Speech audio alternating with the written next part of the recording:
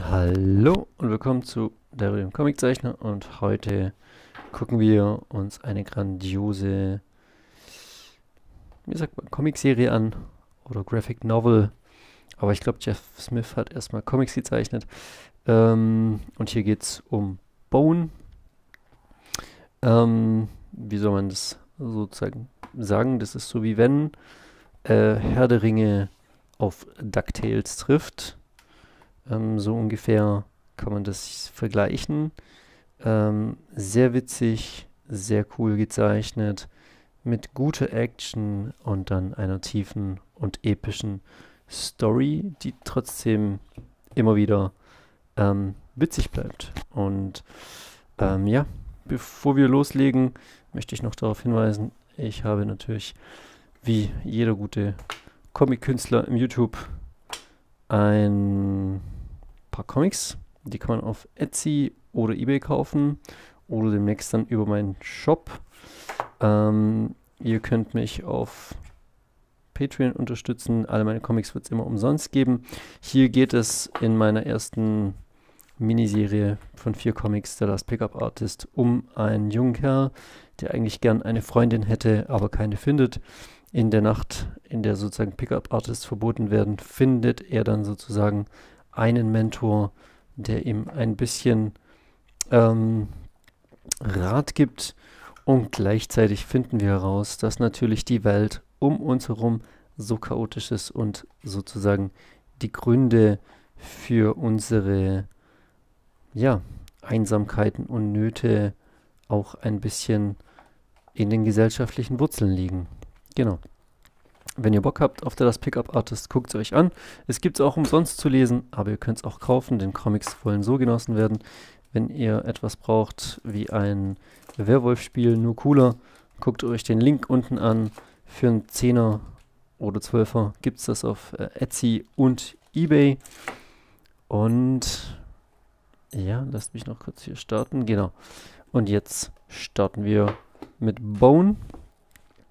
Ähm, Jeff Smith hat, glaube ich, ich weiß nicht, ob er es gesagt hat, aber er meinte so, er war auf jeden Fall inspiriert von ähm, Don Rosas ähm, Donald Duck, also von seinen Abenteuern, die ihn sozusagen durch, durch, ah, hier eine Karte für das Norwolf-Spiel, sozusagen ein Don Rosa ähm, und ein Donald Duck der sozusagen Abenteuer erfährt. Ähm, und es ist auf jeden Fall ein Abenteuercomic hier. Und es hat auf jeden Fall den Cartoony-Aspekt, den wir hiervon kennen. Und auch dieses, dieses, dieses, wir verreisen und wir sind in fremden Ländern und wir wissen nicht, was als nächstes auf uns zukommt. Und dieses Element darf man wirklich nicht unterschätzen. Das ist wirklich eine schöne Sache eine Abenteuergeschichte zu erzählen. Ähm, es macht großen Spaß.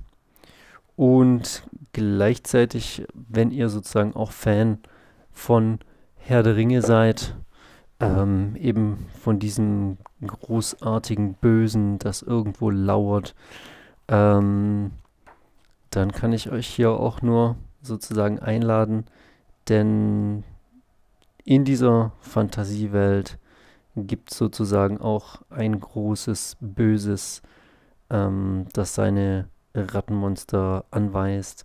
Und das Schöne ist praktisch, die haben auch immer hier so Hierarchien von unten. Wir lernen am Anfang nur die Rattenmonster kennen und dann lernen wir nur Ki King Doc kennen und fürchten sozusagen ihn und dann lernen wir ihn kennen und ja, diese Hierarchie geht immer weiter und das ist das Schöne, dass sozusagen wir immer tiefer in die Materie gehen.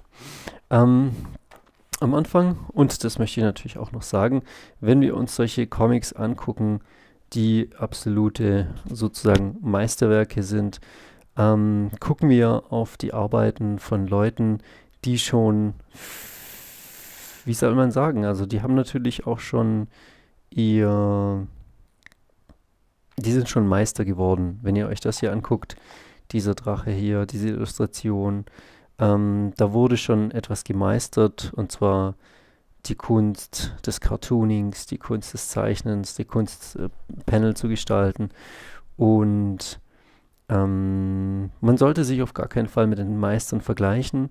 Man sollte gucken, dass man es denen gleich tut und sozusagen dorthin will und ähm, ja, nie verzagen. Also wie gesagt, ich kann mir vorstellen, äh, ein Jeff Smith hat sich seine Vorbilder angeguckt und gedacht, oh, meine Sachen sind nicht so gut, guckt euch mal an, wie das aussieht.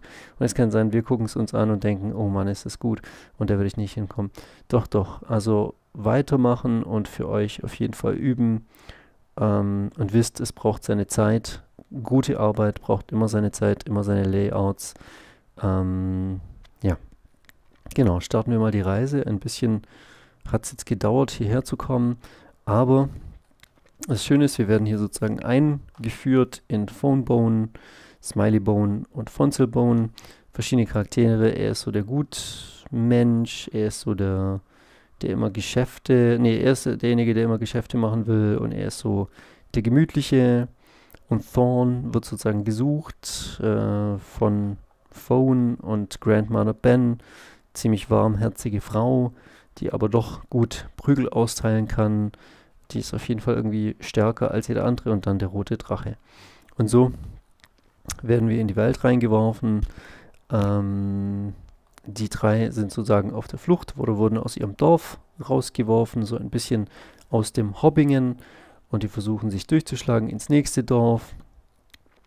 Und am Anfang ist es noch nicht so spektakulär tatsächlich von den Zeichnungen. Wir versuchen hier rauszufinden, wo die hinwollen und die haben eine Karte ähm, und ich weiß jetzt nicht, ob sie einen Schatz suchen oder was sie genau suchen oder ob sie das nächste Dorf suchen.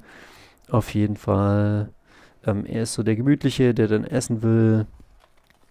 Und während die da diskutieren, kommt diese Heuschreckenplage und treibt sie sozusagen an, hier schnell übers Feld zu rennen.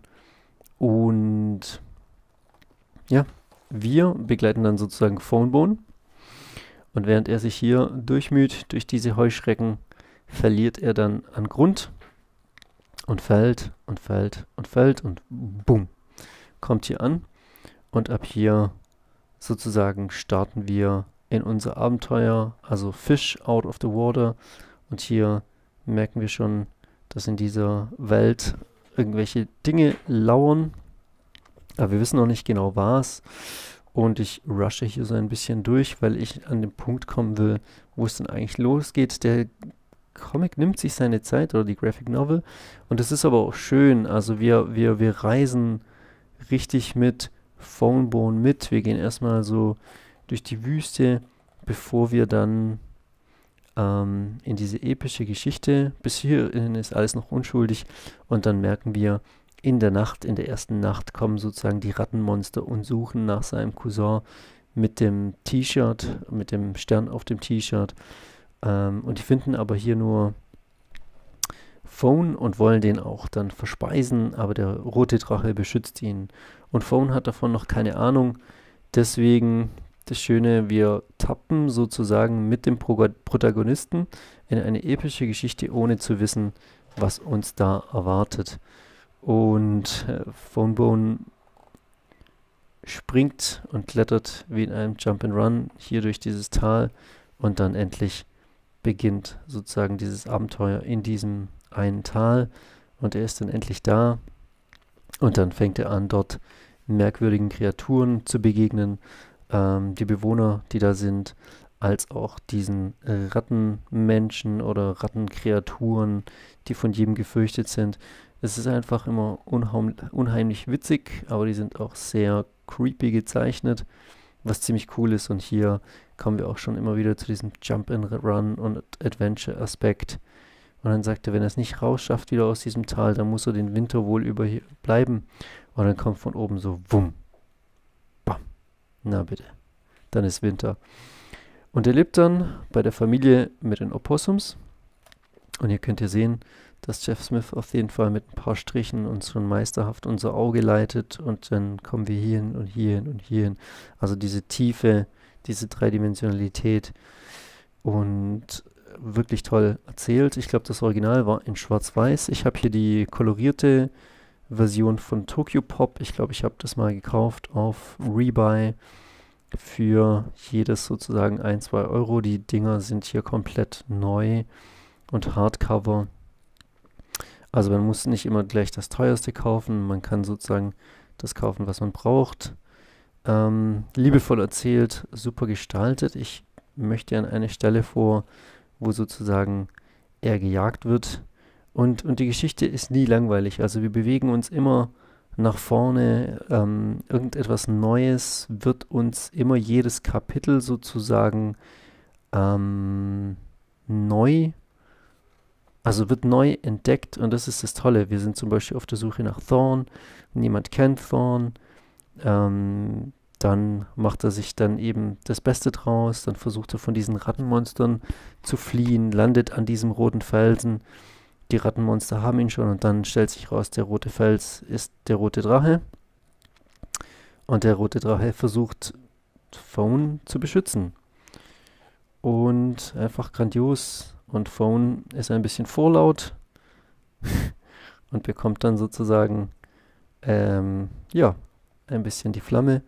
Und dann sagt er gut und ähm, hat sozusagen in dieser Episode nicht das gefunden, was er finden wollte und auf dem Weg dann ähm, sozusagen seinen Hut zu löschen oder sich zu waschen oder zu baden, findet er dann dieses Mädchen.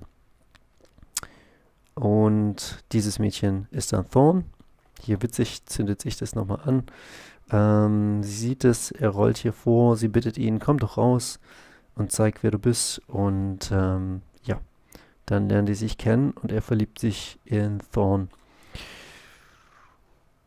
Und auf jeden Fall eine epische Geschichte, wunderschön erzählt. Ich komme hier dann zu einem Ende. Wisst auf jeden Fall, dass Jeff Smith mit jedem Band, das er hinzufügt, besser wird, die Erzählung schöner und witziger wird aber dass wir dann auch langsam jetzt ähm, in etwas kommen, wo wir sozusagen mehr Charaktere, also es erweitert seine Charaktere ganz langsam und dann spüren wir auch hier die Grandmother spürt ein ganz komisches Ding und er sagt, ja, was ist denn das? Und dann sagt er, das ist, wenn das Böse sozusagen erwacht. Und ab der Hälfte ungefähr merken wir, dass es auch gleichzeitig ein bisschen düsterer wird und die Rattenmonster fangen an, sich zu versammeln im Tal.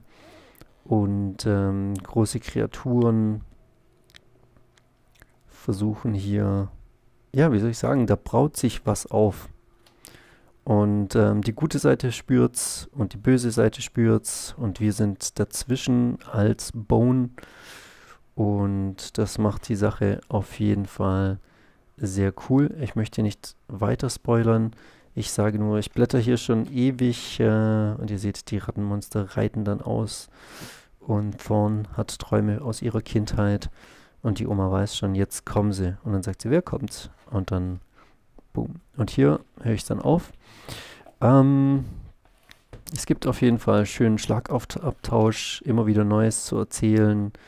Ähm, Schönes aus der Vergangenheit, so im Lord of the Rings Style gleichzeitig das jetzige Dorf, gute Dinge, die geschehen ähm, und Charaktere und einfach unglaublich. Und wie, viel, wie viele Bände es sozusagen davon gibt und wie tief die Erzählung ist. Ich habe es noch nicht ganz bis zum Ende der Erzählung, aber so viel sei gesagt, ähm, es wird immer epischer, immer tiefer. Und ja, einfach grandios. Also, damit beende ich es und bis bald. Ciao.